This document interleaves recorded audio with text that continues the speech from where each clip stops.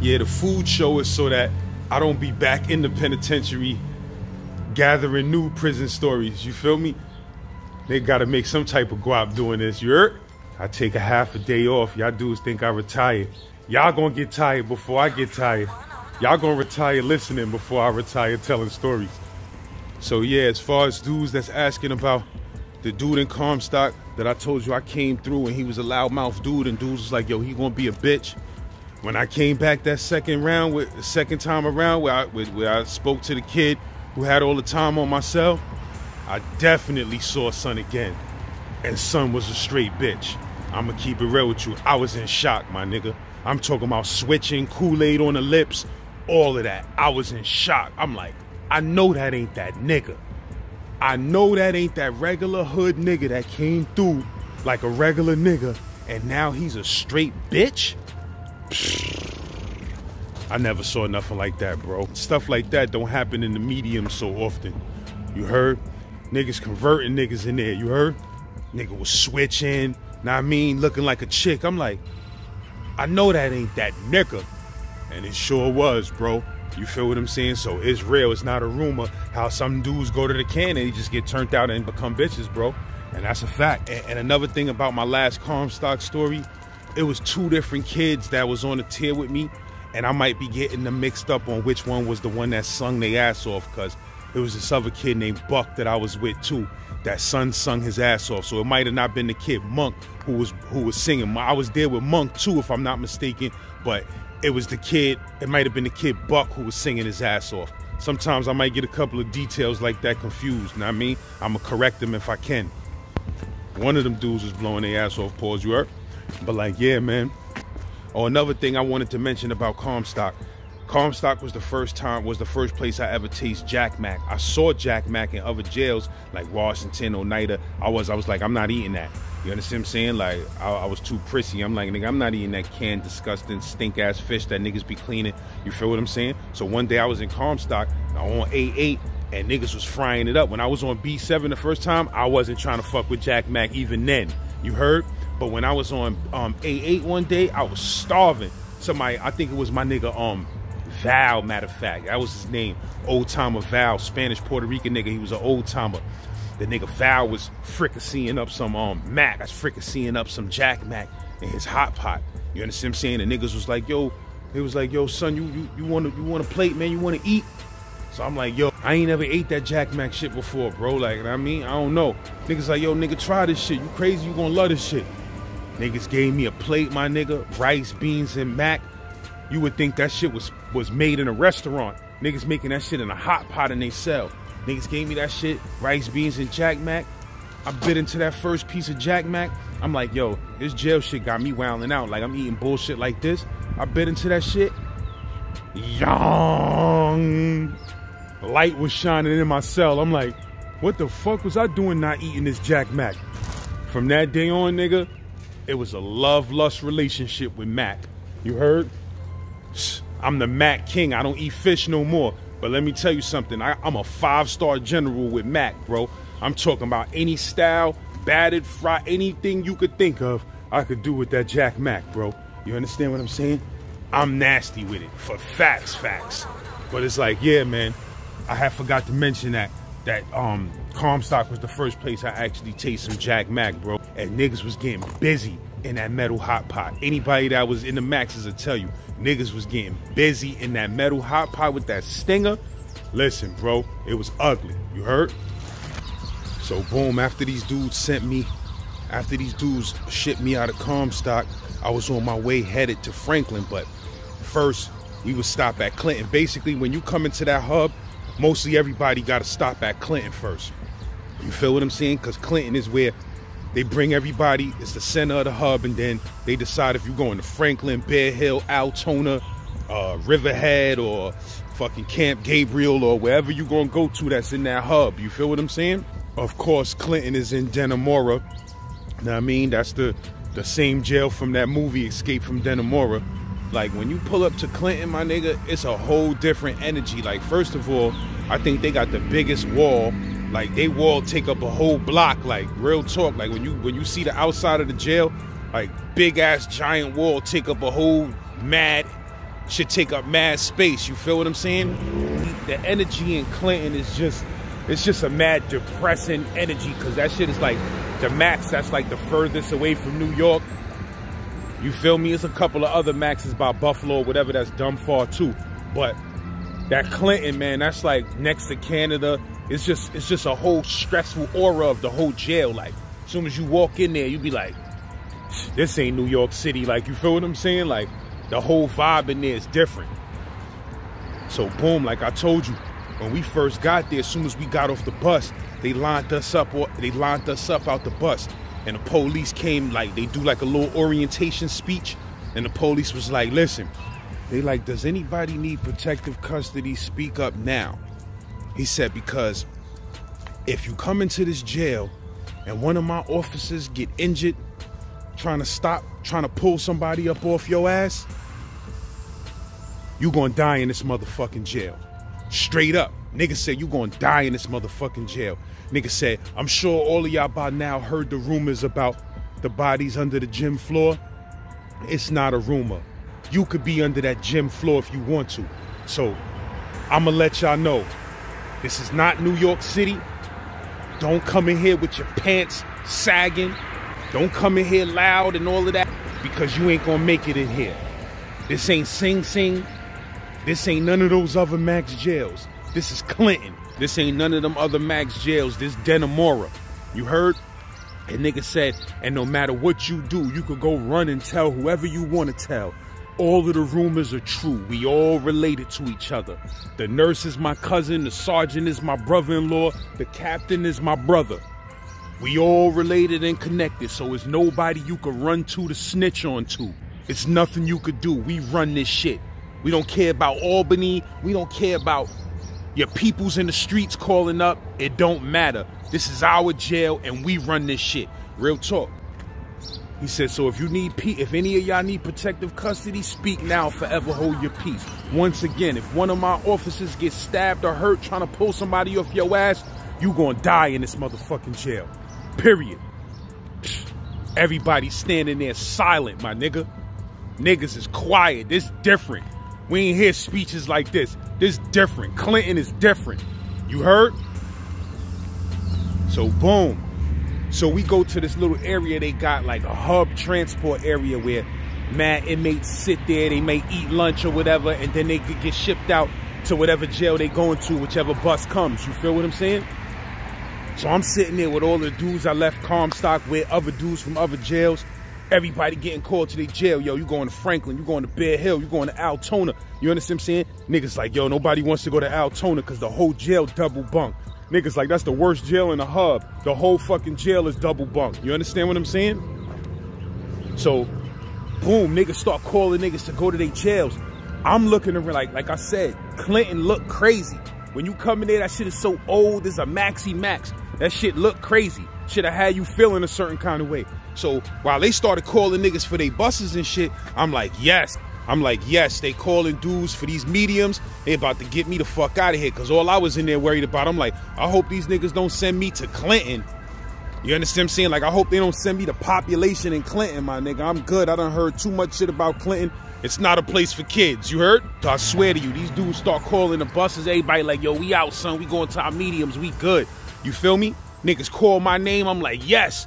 I get up. Niggas is like, niggas start looking at my paperwork for extra long. I'm like, why this nigga looking at my paperwork like that? Nigga just says, oh, wait a minute. We got one guy here that's still SHU.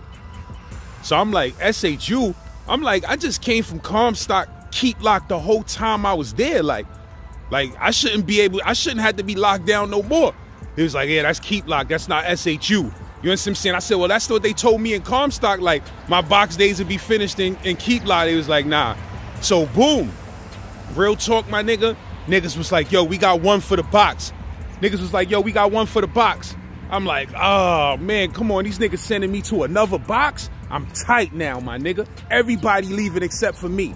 They, I'm the only nigga they talking about, yo, you still owe 10 days in the box. I'm like, what you talking about? How I owe 10 days in the box? I just did mad keep lock time. So luckily, it wasn't no space in the box. You heard? It wasn't no space in the box. So niggas was like, all right, so fuck it. Send him to a cell and he, he So everybody else left, niggas send me to a motherfucking block upstairs. I'm like, thanks, just my motherfucking luck. I don't even know how I owe 10 days in the box. Niggas got my paperwork fucked up, whatever. I ends up not leaving and they keep me in Clinton. So they take me upstairs to the cells, you feel me?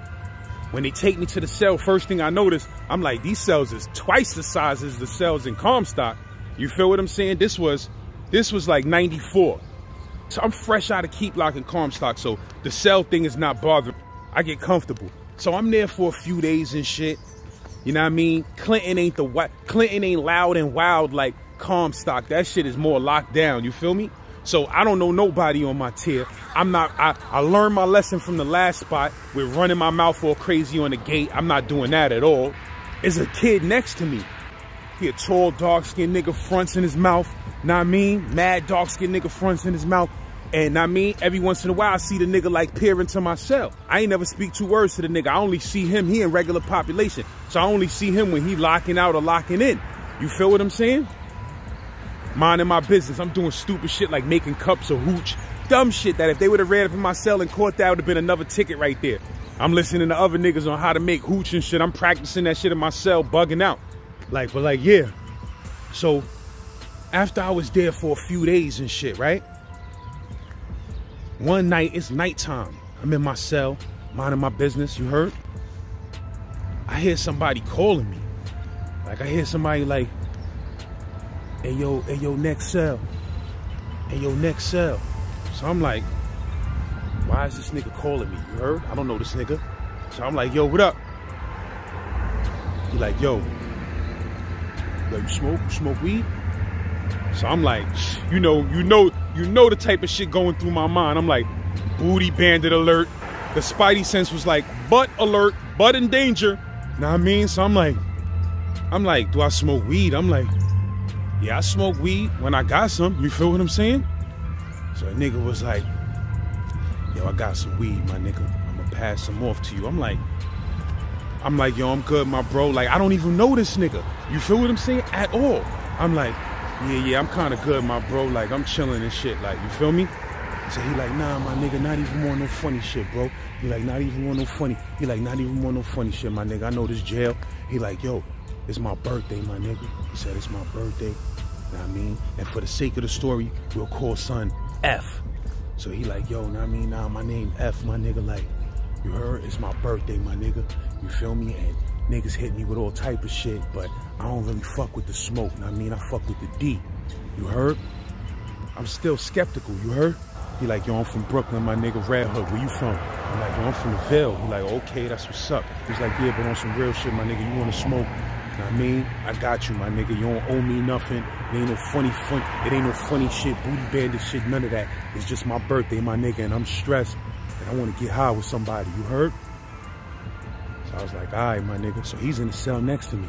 Son tosses that shit. You feel me? I get the shit. Open that shit up. That shit a whole joint, you heard? Brolic shit and all of that. Psh, lit that shit up, my nigga. Took two or three pulls of that shit, nigga. I hadn't smoked in so long. That shit had me twisted, you heard? I'm like, damn, I'm nice. Me and son polying, we just polying the whole night. You feel what I'm saying? Yeah, son. So real talk after me and son, now me started polying. Like I said, it's his birthday. I mean, we just getting to know each other. That nigga like, yo, son, I'm gonna keep it real with you, bro. Son, he was like, yeah, son, I got 25 to life, you heard, for a body. I'm like, damn. I mean, he like, yo, he like, yo, bro, I mean, I'm so stressed out with this time, my nigga. He said, my nigga, listen, bro. He said, this is why I need to get high. You feel what I'm saying? I'm like, damn, some niggas gave you a quarter and shit? He like, yeah, my nigga, I blew trout, man. He said, what I mean? And, and the crazy shit is, bro, he said, I ain't do this shit, my nigga. And he said, yo, everybody say that in jail. A bunch of niggas say they innocent so they could go home. He said, but my nigga on some G shit. He said, I really didn't do this shit, my nigga. He said, now I'm gonna keep it real. My gun was going off. He said, I done did some things, my nigga. I done did some things, I mean, and I done put that work in in the streets, my nigga. And it's shit that I got away with that I could have went to jail for. But this particular body right here, my nigga, He said, I did not do this shit, my nigga. He said it was a police in Red Hook that hated my guts, my nigga. And he knew I was busting my gun and he couldn't catch me. You feel me? He said, these niggas pinned this body on me, my nigga. He said, niggas paid off a crackhead. He said, niggas made a crackhead testify, gave a crackhead some bread or whatever and made them testify against me and say that they saw me pull the trigger. Niggas said that shit was a straight lie, my nigga. These niggas were straight crooked cops that was trying to get me out the street because I was doing my numbers. You heard? Damn, my nigga. So, I mean, it's a lot of niggas running around jail screaming innocent, my nigga. And, you know, it make it, it make it look fucked up for niggas like me that really is innocent, my nigga. Nigga said, yo, this shit breaking me, my nigga. He was like, this time? He said, this shit breaking me. He said, I be in my cell thinking about all the shit that I did. Like, yo, this is karma. This is karma for the shit that I did and got away with. You feel what I'm saying? He said, but yo, I'm sitting here doing 25 to life, my nigga, for a murder that I didn't catch. You feel me? He said, this shit different, you heard? Doing time for some shit you ain't do is different. Know what I mean? And me and son was just building all night. Know what I mean? And I, that shit hurt, nigga. That nigga was like, yeah, bro, he said, like, I'm trying to get this appeal popping. I'm trying to do what I can to get out of here, my nigga. He said, but yo, this shit got me sick, bro. He said, this shit got me sick, bro. He was like, that's why I'm fucking with this D. He said, nigga, I don't fuck with no D. Like, I need something that's gonna make me forget about this shit sometimes, bro. He said, cause this shit breaking my back, you heard? I'm in here doing 25 to life for a next nigga crime, son. Real talk, like, that shit was crazy. Son told me all of that, man. I was like, damn, bro. That shit just started making me think, like, how many how many other motherfuckers that say they innocent that people be thinking they just capping, you feel me? And they really innocent, bro. They really ain't catch that BO, even though they may have been a beast in the streets. They may have been a beast in the streets, bro, but the law is the law. If a dude did not commit that crime, he should not be in jail for that, doing that time for that. You feel what I'm saying? And it's a bunch of dudes sitting in the penitentiary because of some crooked ass, filthy ass cops. And we know this is not a rumor, this is true. It's on the news every other day, bro. It's in the news. People get their cases overturned every other day. People getting exonerated and their cases overturned every other day.